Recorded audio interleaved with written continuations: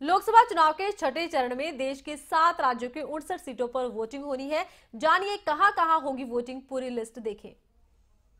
सुल्तानपुर, प्रतापगढ़, फूलपुर, इलाहाबाद, अंबेडकर नगर, श्रावस्ती, डुमरियागंज, बस्ती संत कबीर नगर लालगंज, आजमगढ़, जौनपुर मछली शहर बदोही पर चुनाव होंगे।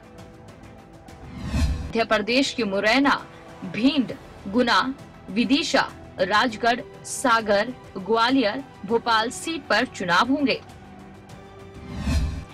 बिहार के वाल्मीकि नगर, पश्चिम चंपारण, पूर्वी चंपारण, शिवहर, वैशाली, गोपालगंज, सिवान और महाराजगंज की सीटों पर चुनाव होंगे।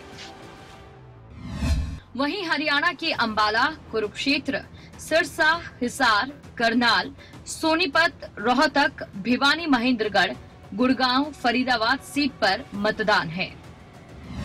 झारखंड की बात करें तो गिरिडीह, धनबाद, जमशेदपुर और सिंहभूम में मतदान होंगे।